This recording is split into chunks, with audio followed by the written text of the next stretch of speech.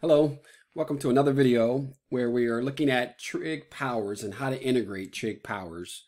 We want to uh, be able to make it through this the second level where we're looking at powers of tangent and secant. We went through in previous videos the method of how to deal when the power of tangent is odd, what to do when the power of secant is even, and now we're making our way through, well, the other possibilities. And the, and the simple notion is that there's no technique to follow. There's no use of the setup. And so you have to be able to uh, sort of make your way through uh, the problems the best you can. In the in the previous video, we integrated tangent and secant. We integrated uh, tangent squared and secant squared. And now in this video, we're going to integrate tangent cubed by itself and secant cubed by itself. So how do you integrate tangent cubed? Well, it does fit the the uh, formula that you know the power of tangent is odd, but there are no secant powers present. That whole technique is built off of factoring out a tangent and a secant, and you can't do that here. But watch what you can do though. Still factor out a tangent. You'll be left with a tangent squared. Trade those tan squareds in for secant squared. Remember the identity, the fact that 1 plus the tan squared is the secant squared. So the tan squared is secant squared minus 1. Okay. We're not setting up a u sub. What we're doing is basically trying to make our way through this the best we can. Next thing we should probably do is distribute. So multiply the tangent x inside. And actually it turns out that if you let, you know, in that first integral there, the derivative of one part is the other part. That's a perfect U sub. And in a previous video, or, we, or hopefully you have in your library of functions, how to integrate tangent of x.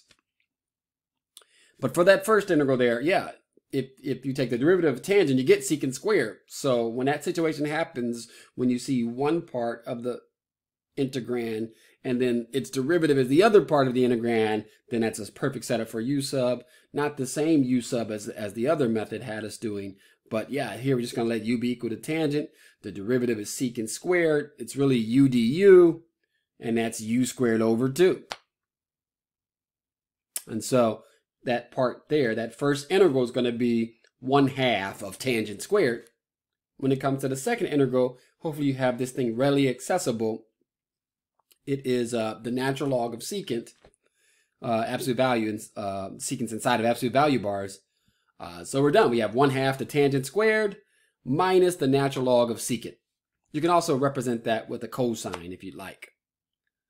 So that wasn't that bad. You know, factor out a tangent, convert the tangent squares into secant squares, and um, distribute and kind of work your way through it. It isn't that bad. It doesn't fit exactly um, the previous method of, of being able to deal with the power of tangent being odd by factoring out a tangent and factoring out a secant, but you're still able to make your way through it. All right, one more here. We're going to do, this is the toughest of all, save the worst for last here, how to integrate secant cubed. It just sneaks up on you. It's not, it's, it's, you don't, you don't, you don't expect what's going to happen. Um, it actually requires integration by parts. And so it doesn't look like like why would that be integration by parts? But it is. Uh, break it apart to be secant and secant squared, just like what you did with the uh, with the tangent. And so uh, choose one part to be secant, the other part to be secant squared. So du is going to be secant, and secant squared uh, is going to be dv. Remember how integration by parts works you take the derivative of u, you take the integral of dv. What is the derivative of secant? Secant tangent. What is the integral of secant squared? What function has secant squared as its derivative? Tangent. How do you set up the formula for integration by parts? You multiply uv and you subtract the integral on v du. So you're going to have secant x tan x minus the integral of secant x tan squared x. Okay. Integration by parts. Okay. We're doing great. Now, when you integrate by parts, your job is to trade one integral in for a simpler integral. And the, the cost is that, of course, there's this other part here, the product, the UV product. But how is this integral simpler? We have tangent who's squared and secant who's cubed. That doesn't fit one of our previous methods. But like before in the in the example we did right before this, you just kind of like work your way through it best you can. We're going to trade in tan squared for secant squared minus 1. Why would you do that?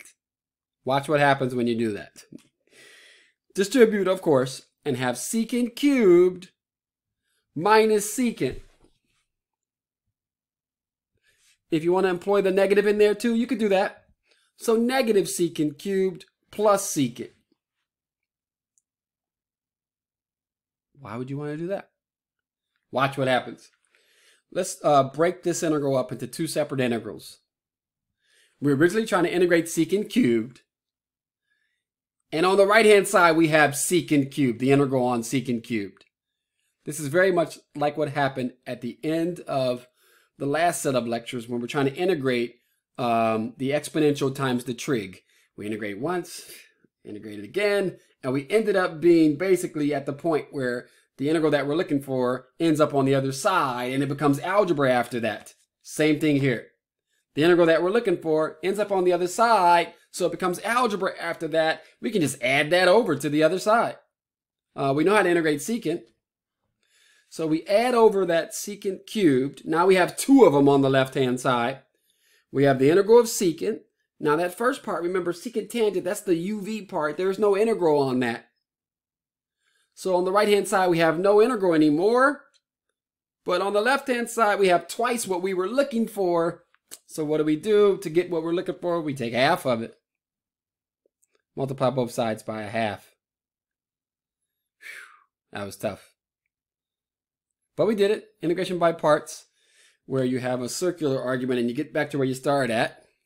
Uh, it only took integration by parts once, but uh, that was a bit much. I just want you to know that it, it's a bit much when you don't fit exactly the criteria that helps you get into, you know, a nice little polynomial u sub integral. Um, at the bottom of this slide here, I just have the um, sort of summary of, of, the, of this video and the previous video. Um, when, when no method works, you're down to just trying to make it through however you can. And we did six integrals. Okay. We integrated tan, we integrated secant. We integrated tan squared. We integrated secant squared.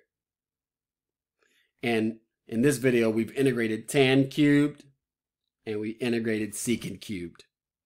I would say just file those away.